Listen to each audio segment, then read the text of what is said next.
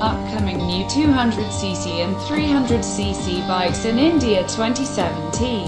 2018 Yamaha MT-03 is the naked Street Fighter version of the Yamaha YZF-R3.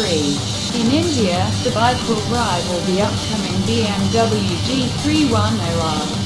The bike receives a bikini fairing, redesigned fuel tank with tank scoops and a wide handlebar that gives it an upright riding position. Read more.